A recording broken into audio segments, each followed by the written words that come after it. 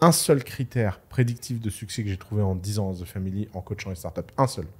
Il y a un seul truc où je me suis dit, ça, c'est variable. C'est certes, c'est certain, c'est pas variable justement. Tu vas voir une startup, elle vient de voir en office hour, on parle d'un sujet, tu la revois deux semaines après. Si la startup a le malheur de te parler du même sujet, tu peux être sûr que le mec n'ira jamais nulle part.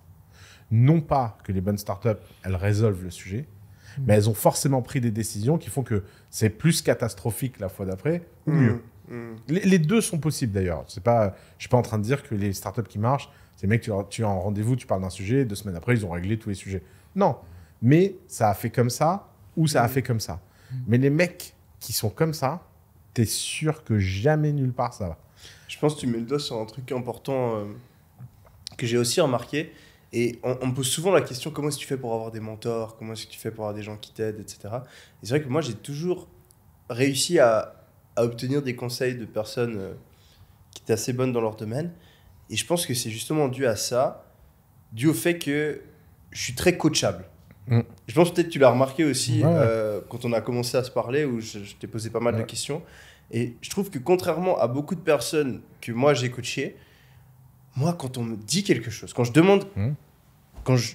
parce que les gens ont envie de t'aider. Quelqu'un Mm. qui, est, qui, est arrivé très loin dans un domaine, Mm. on pourrait penser ah il est busy. Oui, certes il est busy, mais Mais c'est tellement, émouvant. ça, ça fait kiffer d'aider. Et ça fait kiffer d'aider quelqu'un qui va s'aider lui-même et qui va obtenir un résultat.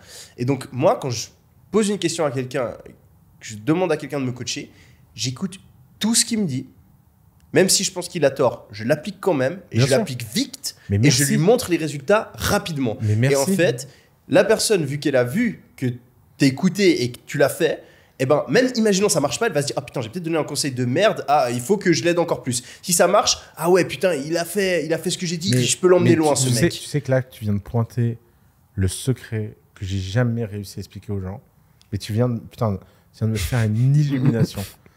C'est qu'en fait, quand tu te fais coacher, il faut que tu acceptes, même si tu n'es pas d'accord. Ah ouais, 100%. Parce qu'en fait, c'est gagnant-gagnant. Si le mec a Mhm. raison et que tu n'étais pas d'accord, tu apprends un truc de ouf. Mhm. Et s'il a tort, et ben, tu apprends ensemble. Et donc, le mec, il a une dette envers Il est toi. une Volve. Et il y va encore plus. Mais putain, c'est du génie. Et dans le sport, c'est la même, Exact. la même chose. Exactement.